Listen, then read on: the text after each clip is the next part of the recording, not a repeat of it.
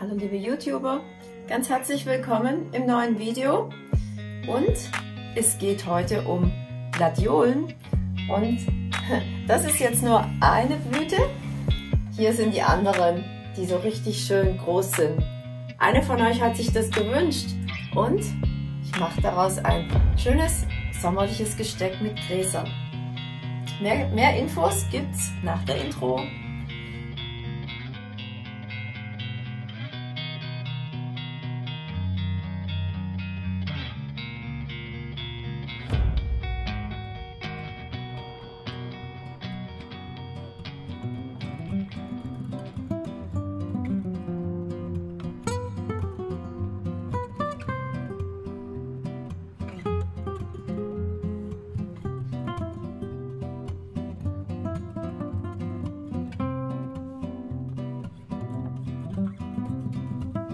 Zuerst mal möchte ich euch einen kleinen Rückblick geben auf das letzte Video.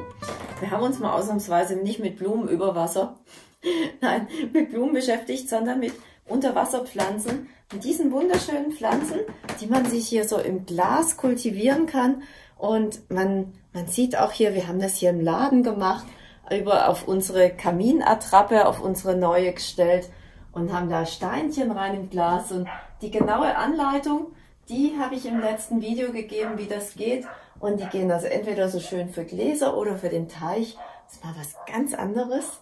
Und ich finde es auch total faszinierend mit dieser, für den Sommer, mit dieser Unterwasserwelt. Ja, es ist so, man kommt sich vor wie ein Taucher. ja, aber das ist jetzt so die kleine Rückschau. Da blende ich euch nochmal den Videolink dazu ein. Äh, und wir gehen jetzt in den Arbeitsbereich und beschäftigen uns mit den schönen Gladiolen und wie wir die toll arrangieren können.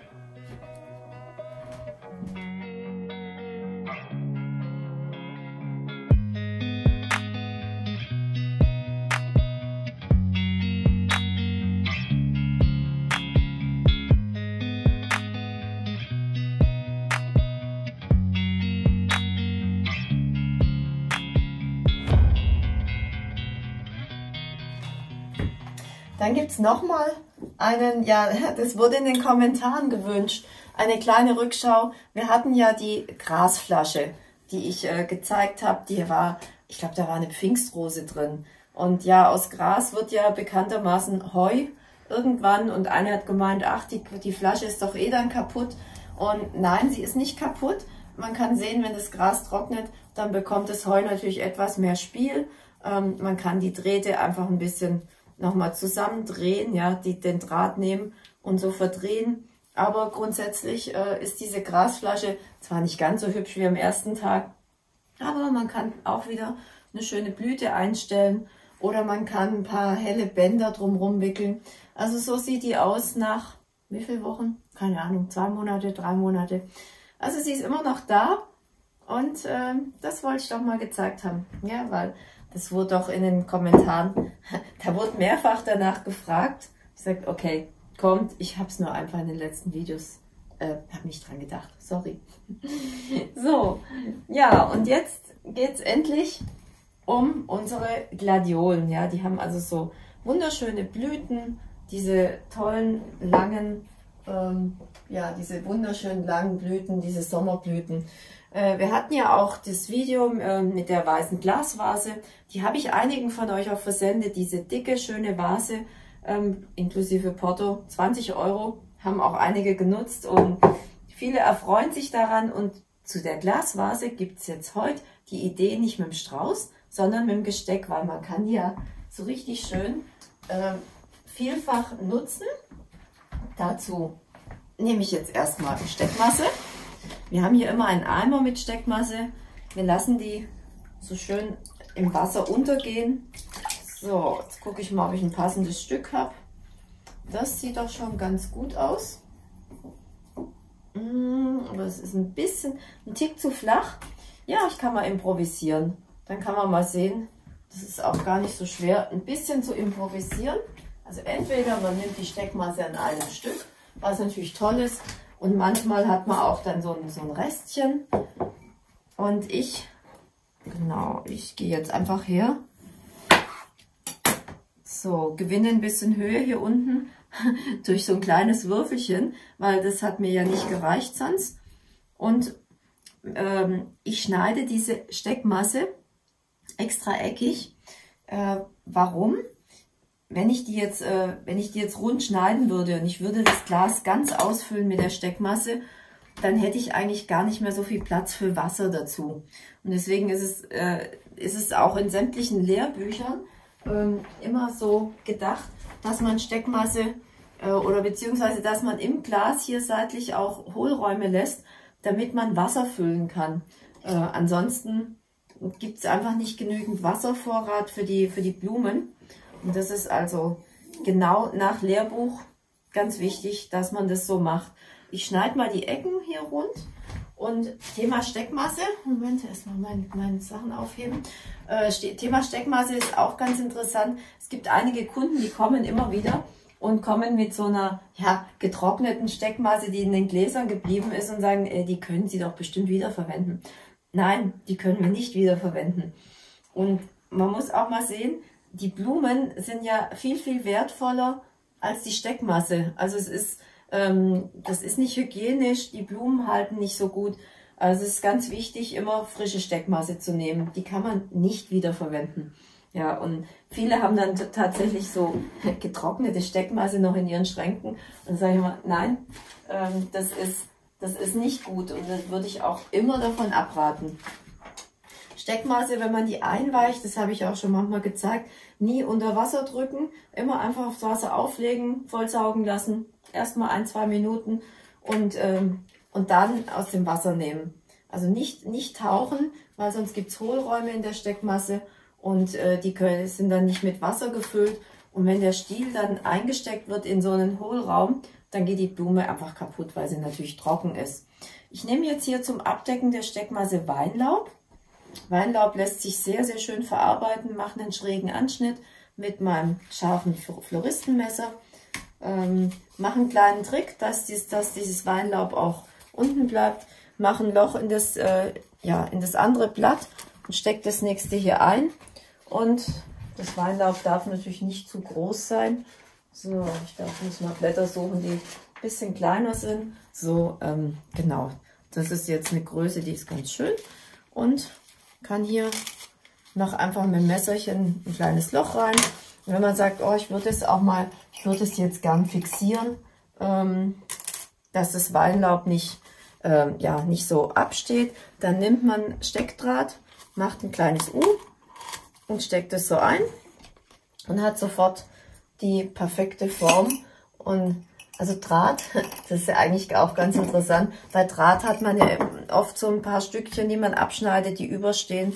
Hier sammeln wir unsere Drähte, weil die schmeißen wir natürlich nicht weg. So, hier sammeln wir die. Und wenn ich genau so eine Arbeit habe wie die jetzt, dann kann ich diese kleinen Drahtstückchen wunderbar gebrauchen, verwende die und kann meine Blätter damit fixieren. Und schon sind sie alle schön, ja, schön arrangiert. Dann komme ich zu meinen Gladiolen. Wie schön. Ah, ich nehme mal Rot, Rot für den Sommer. So eine schöne Sommerfarbe. Das ist ja wunderbar. Die Vase, die Vase ist so hoch, dass die fast an die Decke anstoßen. Wir haben diese Gladiolen, das habe ich auch in einem Video schon mal gezeigt, wir haben die entspitzt. Ja, das heißt, also hier gibt es immer noch ein paar Knospen, die nicht aufgehen. Man kann dann einfach hier sowas rausbrechen. Ich habe das jetzt zum Zeigen mit einer gemacht. Dann ähm, muss ich die Relation zum Glas natürlich auch wahren. Das heißt, ich kann die jetzt nicht in Originallänge lassen. Ja, das wäre das wär viel zu lang. Und Weinlaub lässt sich sehr gut durchstechen. Das heißt, ich äh, gehe jetzt her die hat so eine leichte Biegung und ich habe das mit angeguckt und habe das so, dass das so zur Mitte läuft. Also alles sollte immer so zu so einem Mittelpunkt zusammenlaufen. Das ist so gestalterisch, äh, das ist einfach sehr schön. Ich stecke es jetzt extra so. Ähm, hier könnte ich es jetzt parallel machen. Ich hätte jetzt aber eigentlich gern eine gehabt, die sich zur anderen Seite biegt. Mal gucken, ob die... Nein, die tun mir, die tun mir den Gefallen nicht. Ist egal. Wir machen das anders. Ähm, schön wäre es gewesen, noch eine, die sich so rüber biegt, ja, um eine gewisse äh, Harmon ja, gestalterische Harmonie zu bieten. Aber wir bieten jetzt die gestalterische Harmonie einfach, indem wir indem ich die andere Gladiole parallel stecke. Das heißt, wir haben dann so eine schöne Parallelarbeit und ich glaube, genau, müssen wir die andere Seite mal angucken. So. Und man könnte ruhig, ne, genau, ich mache das nochmal ein bisschen anders.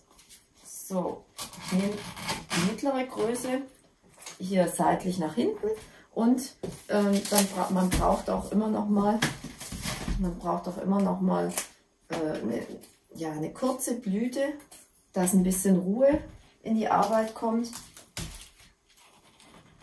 Und schön wäre natürlich auch, Moment, muss ich jetzt noch ein bisschen gerader stecken, so, und selbst wenn ihr jetzt sowas macht wie ich, dass ihr die nochmal rauszieht nochmal steckt, immer so stecken, dass die Blüte ganz an der Steckmasse ist. Weil sobald die in so einem leer, luftleeren Raum endet, ähm, bekommt die kein Wasser. Und dann, dann geht die Blüte ruckzuck kaputt. Und das ist natürlich sehr, sehr schade. So, wir haben Sommer. Und ich finde beim Sommer, dann dürfen Gräser nicht fehlen. Dann ist es natürlich immer schön. Gräser bringen so eine, so eine Lässigkeit, so eine Lockerheit. Das ist, ist immer toll. Und viele wollen auch im Winter Gräser. Sage ich, mm -mm, gibt es leider nicht. Es ist tatsächlich wirklich nur eine Sommerarbeit. So, das ist jetzt sehr schön, aber hier fehlt definitiv was Schönes auf dem Boden und ich habe hier, als ob sie darauf gewartet hätten, ähm, ich brauche was, was Rundes, was Großes, was Schönes. Ist immer, ist immer toll, wenn es in der Basis noch ist. Zum einen natürlich ein bisschen grün. So, da bin ich jetzt auch mal in den Garten gegangen und habe den, das ist äh, portugiesischer Lorbeer. Das ist eine wunderbare Pflanze, ich liebe sie. Ich empfehle sie auch sehr gern meinen Kunden, den ich jetzt umnehme und man sieht auch, die es sieht gleich viel, ja, viel harmonischer und runder aus, wenn die Basis schön ausgegrünt ist.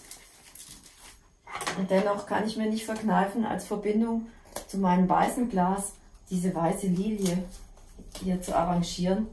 Und ich finde ah, rot-weiß, mein Mann mag rot-weiß sogar, ich glaube, er findet es toll. so, ja, und dann kann man natürlich noch mal so sommerliche Spielereien wie Mondkapseln. So, also das sind jetzt getrocknete Mondkapseln. Ähm, die haben auch einige von euch sicherlich im Garten. Ich nehme den Steckdraht, wickle den um die, äh, um die Mondkapseln und verdrehe ihn. Und wenn man jetzt das Gefühl hat, dass es mit den, mit den Händen noch nicht genügend äh, fest genug ist, dann nimmt man, was ich immer ganz gern mache, einfach eine Kombizange und verdreht, dreht das noch mal ein bisschen fester. Das sind jetzt natürlich auch getrocknete Stiele. So, und jetzt ist es auch fest. Genau. Und fällt nicht mehr runter. Das kann man jetzt noch so als sommerliche Spielerei, kann man diese Mondkapseln sehr schön rauslaufen lassen hier. Dass das nochmal so ein gestalterisches Element ist. Und also man könnte auch optional noch zum Beispiel eine Efeuranke nehmen. Die Efeuranke hier um das Glas wickeln mit Draht. Ähm, aber ich glaube, unser Glas ist so schön. Wir lassen das Glas jetzt mal so. Aber das sind auch zum Beispiel sehr schöne Sachen, wenn man eine Vase hat, kann man auch noch Efeuranken entlang wickeln. Das wäre eigentlich ein ganz tolles Thema für ein anderes Video. Das könnte ich eigentlich auch noch mal machen. Ja, und so haben wir jetzt eigentlich mit wenigen Mitteln, mit drei Gladiolen, ein bisschen Gras, einer Lilienblüte. Ein wunderschönes, ansprechendes Gesteck. Und überall, wo man ein bisschen Höhe braucht und so eine Parallelarbeit äh, sein soll, sprich natürlich nicht auf dem Tisch, wo man drüber gucken will, sondern am Buffet ja, oder am Eingang, da ist so ein Glas mit, äh, mit gesteckten Blumen, mit so langen Blumen, immer eine, ja, ein richtiger Hingucker, eine sehr schöne Arbeit. Ja, das war es auch schon mit meinem Gladiolenarrangement. Ich hoffe, das Video hat euch gefallen. Von den weißen Vasen gibt es immer noch schöne ähm, Bezugsquellen, äh, wo ihr Steckschaum und Draht und so bekommt, schreibe ich euch natürlich wie immer rein. Und ich freue mich, dass ihr dabei wart und wünsche euch ganz viel Spaß beim Nachmachen. Alles Liebe von eurer Margit.